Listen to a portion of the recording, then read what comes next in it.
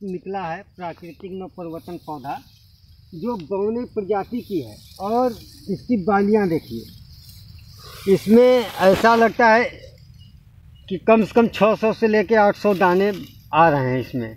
और जो है एकदम बारीक गोल्डन छिलका और बारीक